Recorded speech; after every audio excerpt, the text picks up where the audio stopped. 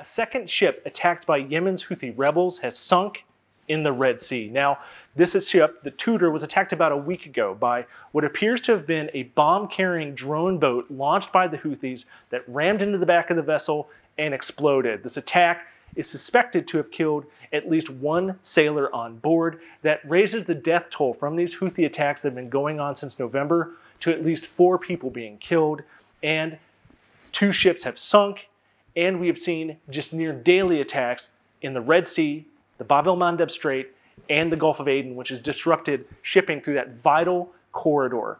Now, as of right now, the U.S. Navy is still there with an aircraft carrier and other destroyers. The Navy says they're facing their most intense combat since World War II in trying to stop these Houthi attacks. The Houthis insist these assaults will continue as long as Israel's war on Hamas in the Gaza Strip goes on.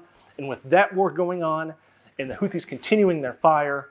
All this means is that shipping remains at risk in that Red Sea corridor and that these attacks are likely to continue.